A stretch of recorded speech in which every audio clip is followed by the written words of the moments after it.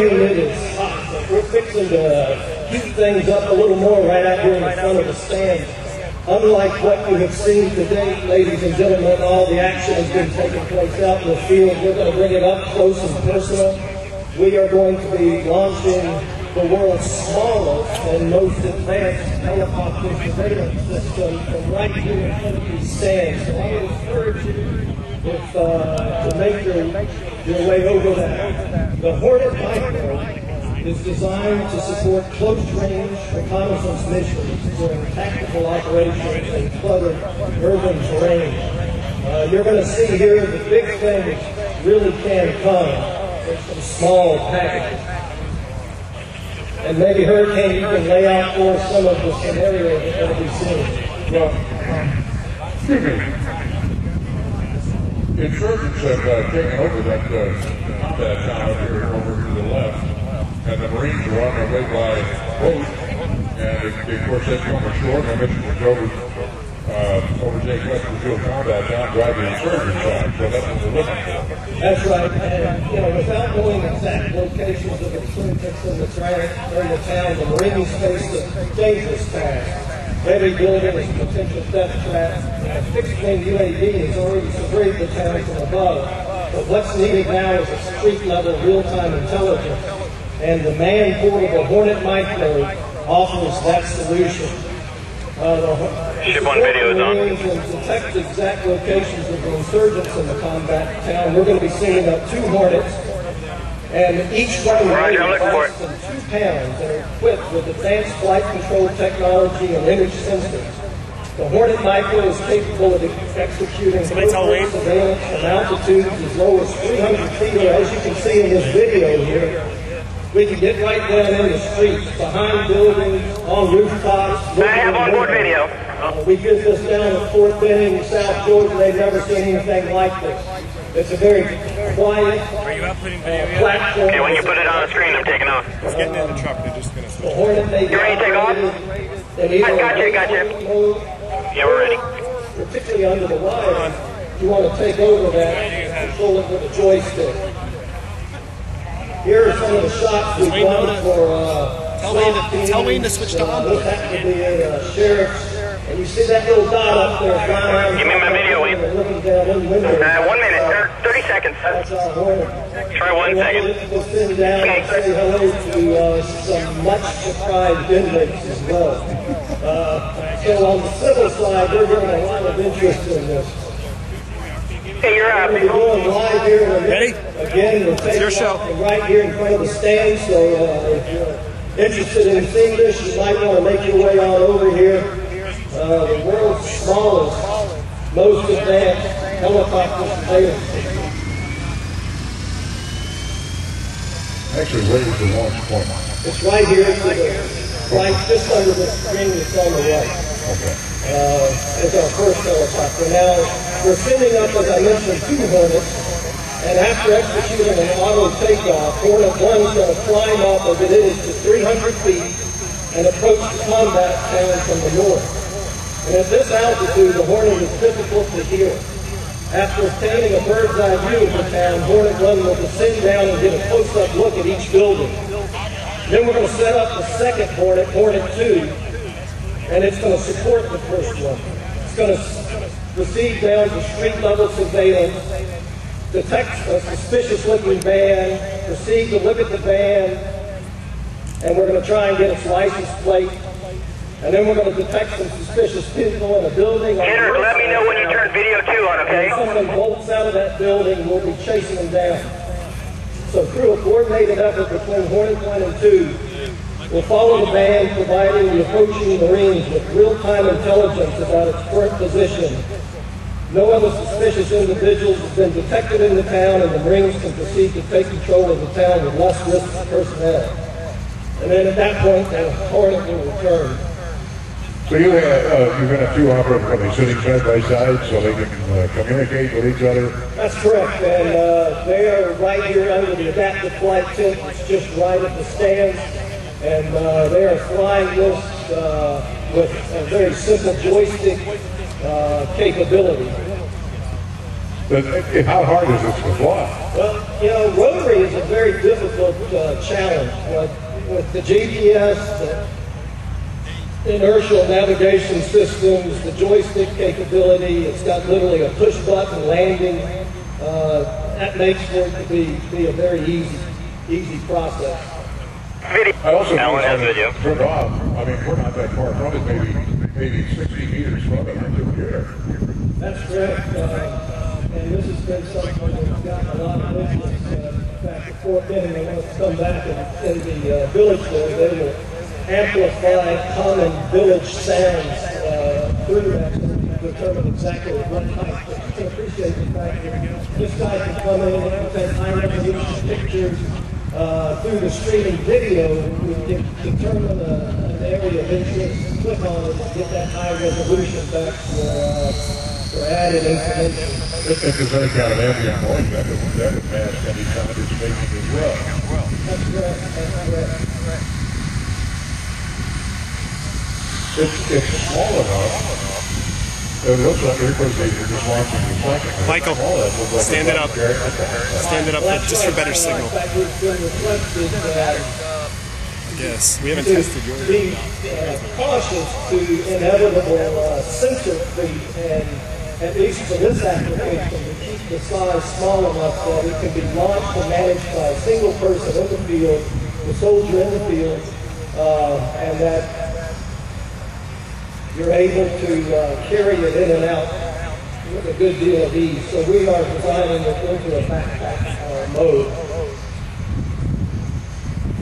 I, I, you know, I don't know that much about adaptive flight. How is the company? Well, that's probably true. Most people here, uh, we're a relatively new uh, company, two years old. The technology is being licensed out of Georgia Tech based on oh, at least 20 years of strong development out of their aerospace uh, engineering uh, departments a lot of DARPA programs. Uh, so we've been very fortunate to access that large body of work. And as you can see, uh, we got uh, a lot of processing power on board this guy, uh, six gigaflops, and we're only using 10% of that. So it uh, is driven by what we call our FCS 20 uh, that we will sell separately, uh, a very high-end uh, flight control system and it's got open APIs to it, so for those that would be interested in what is sitting on the bottom of this thing uh, and bringing all this capability, we, we entertain talking to them. What does this actually weigh? Well, that whole package there weighs, oh, that's a good question, right at two pounds. Uh, so it's, it's a little light, lightweight ride. You know, it's, it's, it's terrible. You know, this has better equipment than I have my airplane. Yeah, I would, uh, have to, with, uh, make a bit of a bold statement and say that little guy's probably got more processing power than most of the vehicles that you've seen out here today. What if somebody starts to shoot at? Well, that's another good question. I mean, we're flying urban, we're low. We have, uh, are just built in with all that extra processing power, you can start to do a lot of different things. And we're adding uh, invasive, uh, invasive maneuvers can take place once uh, start getting shot at automatically. It'll start And that with- could be pre-programmed in. It'll start its own takeoff. Absolutely. And, and uh, now, two pounds. What about night capability? Well, that's enough. I mean, most of these operations take place at night. Uh, we can put IR cameras on here. We can also have other sensor types. Um, as we've been talking to individuals, for example, you can imagine hazmat, hazardous material clouds, uh, chemical potential, and you'd like to put sensors and send this thing up there and have it fly in and around that. Uh, right now, we are flying pretty much line of sight out of this tip, but uh, be aware this can fly a couple of miles away. Uh, you could be sitting well behind the line. Uh, we could see this as uh, being used by platoon, uh, carrying in, setting up, sit up, look up over the mountain, look up over the hill, look around the trees, and get some real situational awareness as you move in you would do that from a height that you could not do it, and then after that, you want to, want to engage, come in and and really uh, get down you get some, some real info. I was just watching over here on the, uh, over in the town, in Combat Town, and that the, uh, the one hero is following the truck. But in fact, I can just see him up there. He's about uh, 50 feet in the air. And, and following the truck is probably out of the range of rear view mirrors. And just the noise of the truck, they probably wouldn't know it's there. That's right. Um, so you've got a, a lot of diverse capabilities. There's a, a growing interest in the micro concept in terms of UAVs and certainly in terms of rotary uh, adaptive flight pushing. Uh, now, see, we've got our insurgents that are running in and around. Um, we'll be picking those up and following them.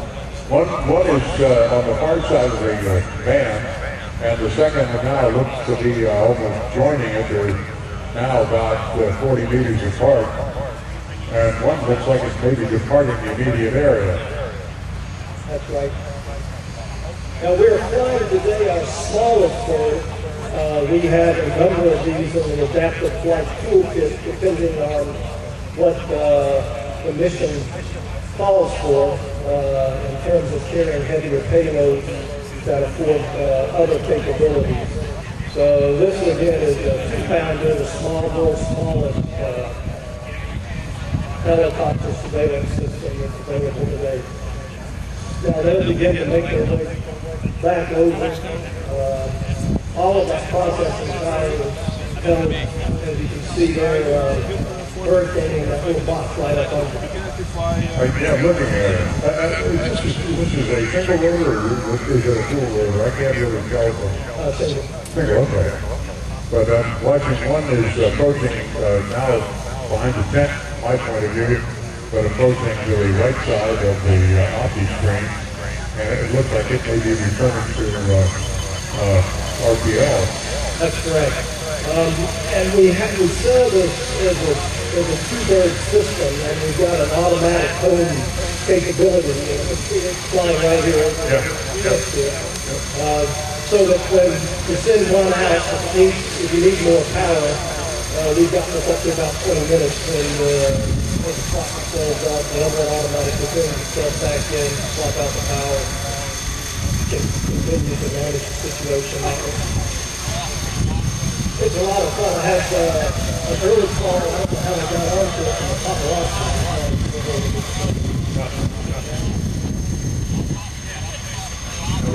I think got one there, one got swamped with uh, Yeah, get to appreciate uh, what an electric vehicle can do. What am I, what am I, hanging off this skid That's our, uh, that's the com capabilities in terms of uh, being able to communicate back and forth to the birds, stream the video that's online, stream the video down live. The stream of video. There you go. Great shot of what that bird sitting in the lower right, lower right picture. Yeah, they're still hanging out over there by the band. See that? Yeah, number two is coming home for, for, for rest. We get a lot of questions about wind and other things. We've flown this, flown this in gusts of 35, 40 knots where, you know, with the on-flight uh, capabilities that come with that processing power, it's able to hold its own and make it real-time adjustments as, as conditions change, and it really alleviates and, and builds in uh, an ease of use that is absolutely necessary for a, rotary as well as something this small. So, uh, Hurricane, I appreciate uh, appreciate your time, and we'll let that sort bring itself down. One last look around.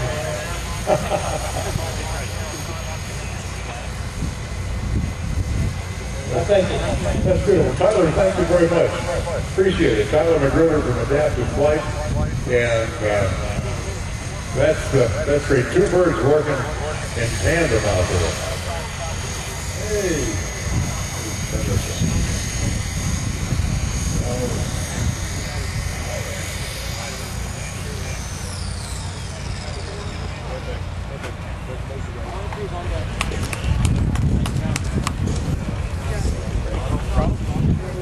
Peter, Peter.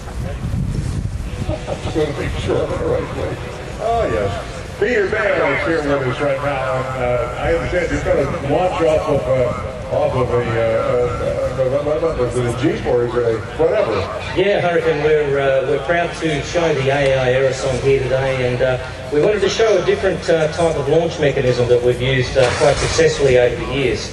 Uh, today you'll be seeing the Aerosonde uh, launch from a uh, Humvee, so I'd invite the ladies and gentlemen to look out uh, on the big screen and uh, out to the runway behind, and you'll see the Aerosonde uh, become airborne there at about 50 miles an hour. You can see the aircraft rota- rolling now. And uh, what's happening now is we're accelerating uh, up to around 50 miles an hour. The aircraft will then uh, slowly rotate, come out of the cradle and be airborne.